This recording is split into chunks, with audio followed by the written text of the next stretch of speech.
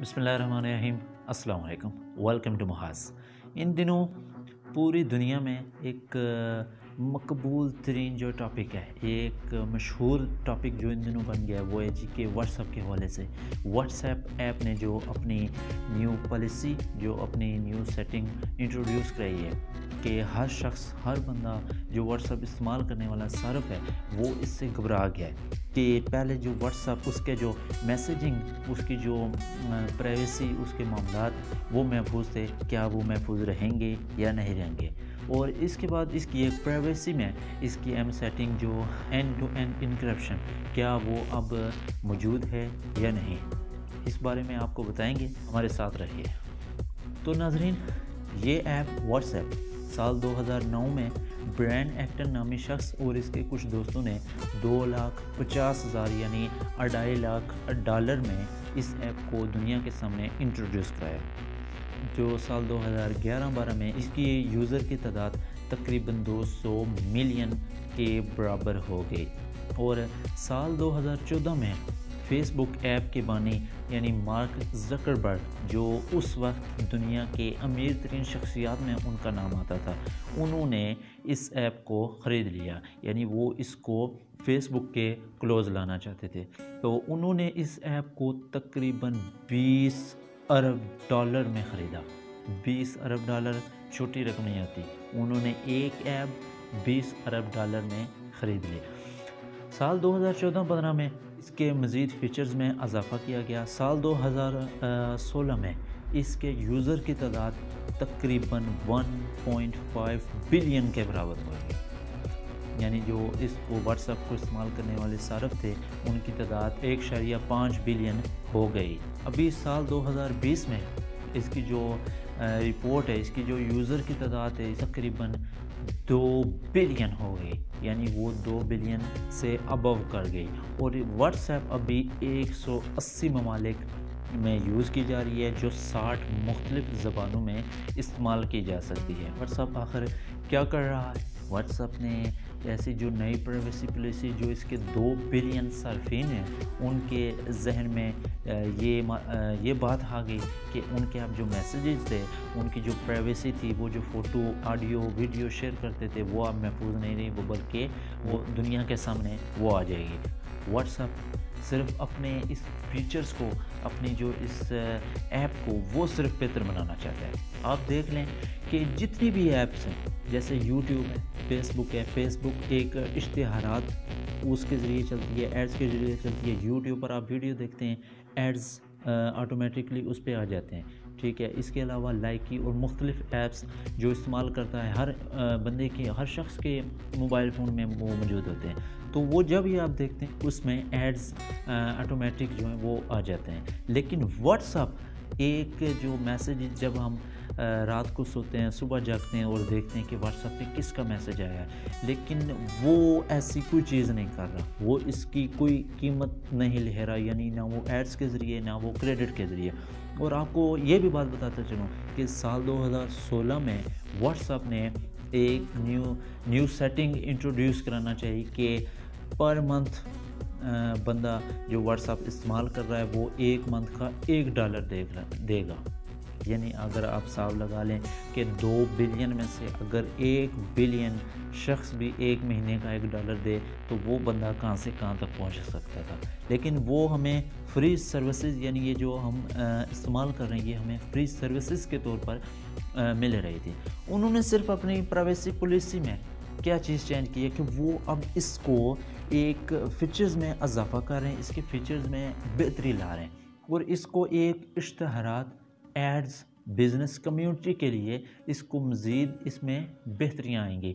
यानी आप फेसबुक इस्तेमाल कर रहे हैं, वहाँ पे जब भी आप वीडियो देखते हैं या मुख्तलिफ़ वहाँ पे छोटे छोटे कारोबार, आप उधर से कोई चीज़ ऑर्डर कर सकते हैं। यूट्यूब पर आप देखते हैं वीडियो जो पे एड्स आते हैं तो वो एक बिज़नेस हो रहा है, यानी वो उसके पैसे ले रहा है ऐप का ओनर उसके पैसे ले रहा है। लेकिन व्हाट्सएप पे ऐसी कोई चीज़ नहीं थी। और दूसरा पॉइंट कि जी हमारी जो मैसेजिंग है, हमारे जो वीडियो जो हमारे मामला हैं, अगर आप कोई अपना माली मामला उसमें शेयर करें, जी वो महफूज नहीं रहेंगे तो ऐसी कोई बात नहीं।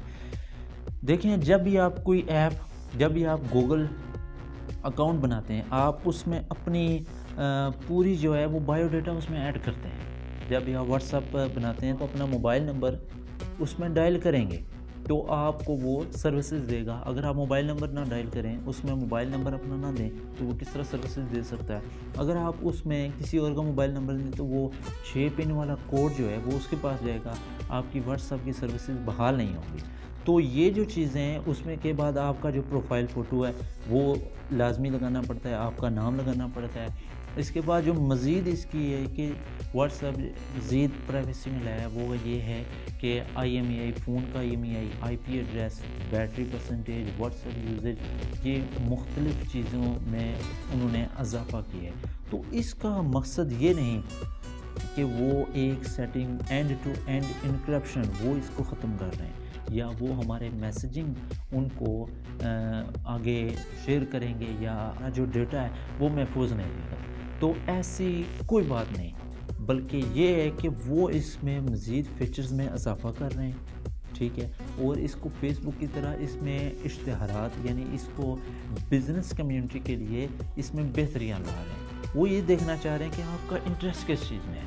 यानी आप यूट्यूब पर किसी हवाले से कोई वीडियो देखते हैं, आप कोई मैकेनिकल वीडियो देखते हैं, आप फ़नी वीडियो देखते हैं तो वो अगर आप एक बार सर्च करेंगे, दूसरी बार आप यूट्यूब ओपन करेंगे तो वो वीडियो ऑटोमेटिकली उस चैनल की या उस तरीके से मुख्तलिफ़ चैनल्स की वही वीडियो आएँगी। तो यही वो चीज़ चेक करें कि उनके जो सारफ है, जो इस्तेमाल कर रहा है, उसका फोकस क्या है? वो किस चीज़ में अपना इंटरेस्ट दिखा रहा है? तो वो जब हम किसी चीज़ में अपना इंटरेस्ट दिखाते हैं, वो ऑटोमेटिक हमारे सामने आ जाती है। तो अगर हम किसी चीज़ में इंटरेस्ट दिखाएँगे तो वो हमारे जो मामला हैं, वो हमारा मैसेज है, वो आगे शेयर करेंगे।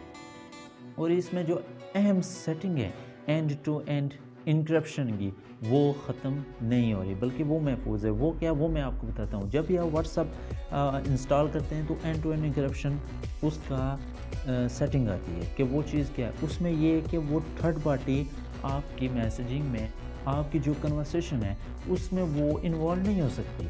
वो ये कि अगर एक बंदा दूसरे को मैसेज भेजता है, जब अगर उसने पढ़ लिया तो वो व्हाट्सअप के सर्वर से, उनके सिस्टम से ऑटोमेटिक डिलीट हो जाएगी। तो इस बार उन्होंने ये किया कि वो सिर्फ़ उनके जो इनक्रप्टेड डेटा है एंड टू एंड इंक्रप्शन में अगर आप मैसेज भेजते हैं दूसरे को पहुँच जाता है, उसने पढ़ लिया, वो पहले डिलीट हो जाता था। लेकिन अब ये है कि वो उनका जो इनक्रप्टेड डेटा है, उसमें महफूज रहेगा।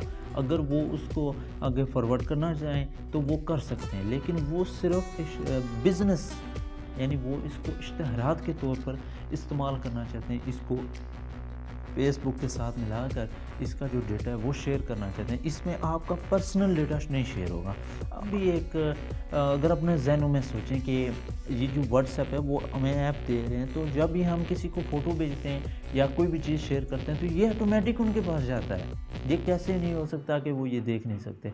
तो ऐसी कोई बात नहीं है। वो सिर्फ़ ये है कि उन्होंने हमें तकरीबन 10 से 12 साल एक फ्री सर्विसेज़ दी है, जिसके वो कोई पैसे नहीं दे रहे। और एक बंदा जब किसी कारोबार में 20 अरब डॉलर अगर वो इसमें इन्वेस्टमेंट करता है और अपने जो यूज़र्स हैं साफिन उनको फ्री सर्विस देता है तो वो अपना एक कस्टमर बेस उसने बनाया है और वो अब इसको उसने जो खर्च किया है, वो इसको वापस लेना चाहता है। तो आपने देखा होगा कि पिछले कुछ दिनों में जो मुख्तलिफ़ ऐप्स हैं जैसे कि टेलीग्राम और बी बी आई पी इनमें बहुत इजाफा हो गया। इनके जो यूज़र्स हैं, इनके जो सार्फिन हैं, उसमें तकरीबन 24 घंटों में एक से दो करोड़ इनमें इजाफा हो गया। और मुल्क तुर्की ने जो व्हाट्सअप की नई प्राइवेसी पॉलिसी है, उसको बिल्कुल रद्द कर दिया है और वो अपनी ऐप को उसने लॉन्च किया है, जिसके बाद उसके सरफिन में बहुत ज़्यादा इजाफा हुआ है। लेकिन व्हाट्सअप ऐसी कुछ चीज़ हो नहीं सकती कि वो हमारा डेटा किसी के साथ शेयर करे, या हमारी जो माली मामला हैं, या जो हमारी मैसेजिंग है, वो किसी के साथ शेयर कर सकते हैं। इसके अलावा पिछले पिछले दिनों में जो व्हाट्सएप के सदर हैं। उन्होंने अपनी ट्विटर में ये ट्वीट की है कि ये जो हमने नई प्राइवेसी इंट्रोड्यूस कराई है, ये सिर्फ़ एक बिज़नेस कम्युनिकेशन के लिए और इसमें एड्स जो इश्तहारात हैं, उनके लिए इसको इसको लाया गया है। और ये आपकी, सार्फ की डेटा का कोई ताल्लक नहीं है और ना ही इस डेटा को शेयर किया जाएगा। ये सिर्फ़ एक इश्तहारात के लिए इसमें इजाफ़ा किया गया है। अगर आपको वीडियो पसंद आए तो ऐसी मज़ीद इन्फॉर्मेशन के लिए हमारे चैनल को सब्सक्राइब करें बेल आइकॉन पर क्लिक करें लाइक और कमेंट करना मत भूलें। और वीडियो को अपने दोस्तों के साथ शेयर करें, ताकि वो भी इस घबराहट से दूर हो सकते हैं। बहुत शुक्रिया वसला